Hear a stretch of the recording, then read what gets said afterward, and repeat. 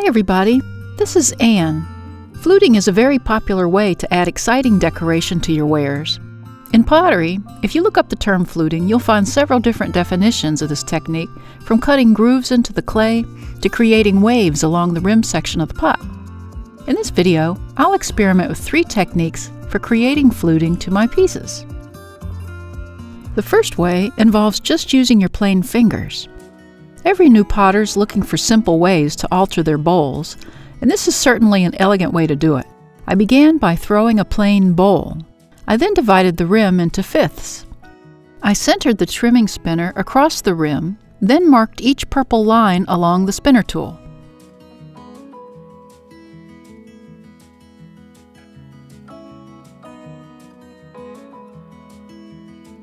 For this design, I positioned two fingers on either side of the mark like this, and then used another finger so the clay pushed inward.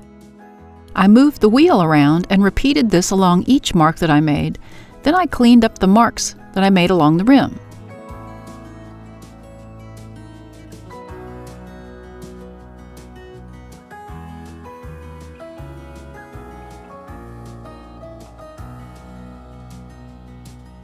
I like this as it is, but I thought I'd show you how to alter this even more. This time, I placed my fingers to one side of a flute and pushed the clay sideways like this.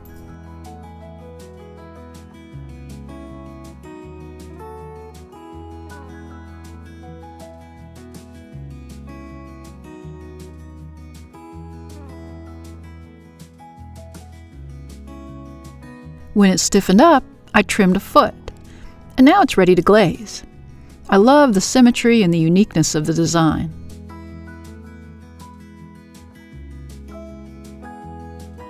Now here's another way to use your fingers, along with a dowel rod. I started by throwing a bowl with a wide rim. Again, I centered the trim tool along the rim and marked the rim into eighths. I sharpened the dowel rod with a pencil sharpener. I then marked the rim along the bottom edge like this with my fingernail. I place the tip of the dowel rod along that mark on the bottom edge and one of the marks at the top edge. I place my fingers under the rim on each side of the dowel and push the clay upwards. I repeated this along each mark all the way around the bowl.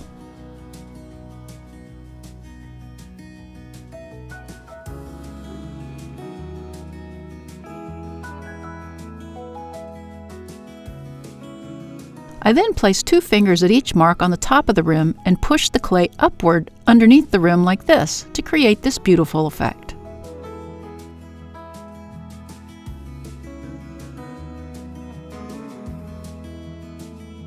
I then used my finger to make sure each flute was at the same height when I spun it around. When it stiffened to leather hard, I trimmed a foot and I can't wait to glaze this. Next I'll show you how to flute a bowl using trim tools. Now here's a bowl I made with a wide rim that I threw previously. I let it dry to leather hard and began adding layers of underglaze and slip to the rim. To apply the underglaze, I just applied strokes with a dagger brush like this.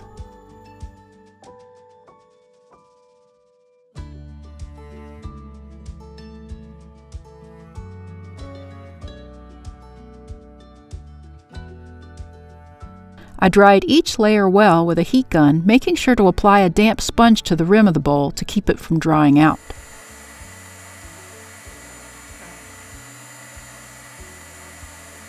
I applied solid layers of milky slip over the underglaze. If you want to learn how to make the slip, check out the link above. I kept applying the slip until all the underglaze was covered, and then dried it again with the heat gun.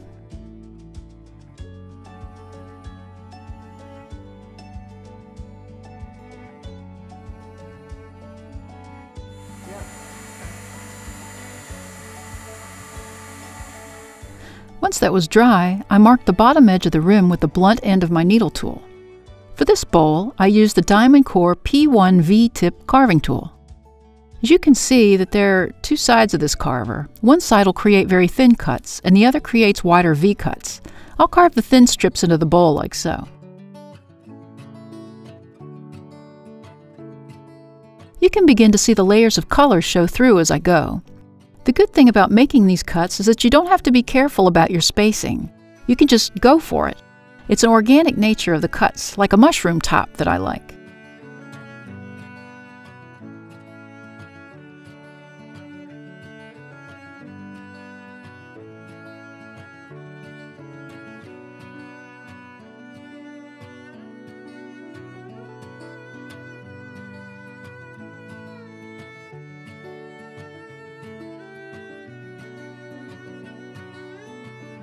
That makes it beautiful with just a hint of the colors underneath. Remember that the colors will darken after it's fired.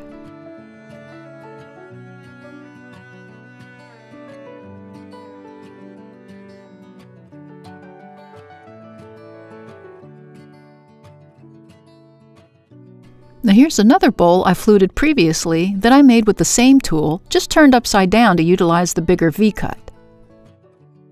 Here I've gone ahead and bisque fired them and you can see just how using one tool can make different looks.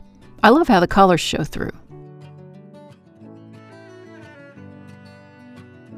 You can also create flutes to the outside of your pieces with carving tools. I threw this bowl previously. When it stiffened to leather hard, I layered it with solid layers of black underglaze and white slip. This time, I'm using this rounded cutter to make flutes side by side so you can see the black lines in between each cut.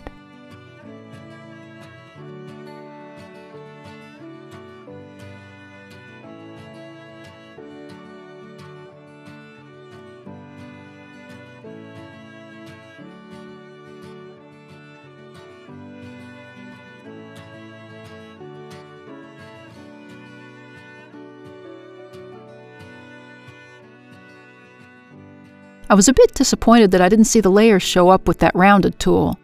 So as you can see, I went back and scraped the black lines down a bit to reveal the layers. Of course, I couldn't resist painting those beauties too.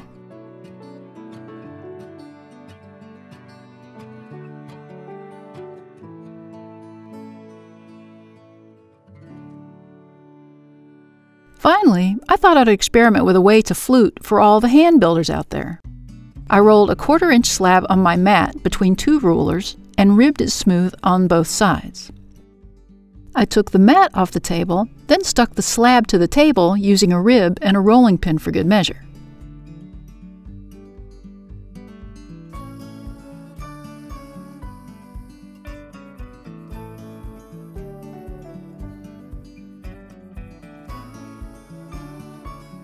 This next part involves using a wiggle wire. This particular one is a Bill Van Gilder wire. I held it tight and flat to the table surface and wiggled it, one side at a time, under the entire slab.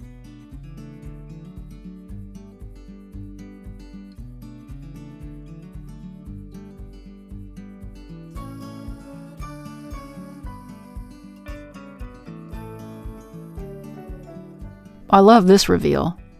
You can vary your wiggling technique for different looks.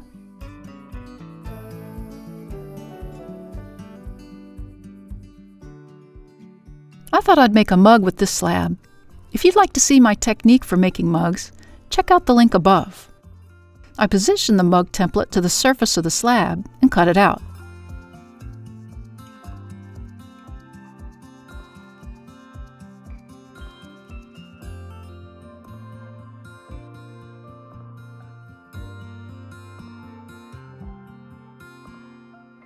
Here you can see how the flutes grace the surface of the piece. I made sure to use the wiggle wire under the mug as well. These are an interesting variation from what you usually think of as fluting. Now make sure you're subscribed and we'll notify you if you'd like to see the finished glaze pieces. Of course, there are many more ways to explore when creating flutes in your pottery. I hope you can use this video as a springboard for coming up with your own fluting decorations. Thank you so much for watching. If you liked our video, please like, share, and subscribe. See you next time in the studio.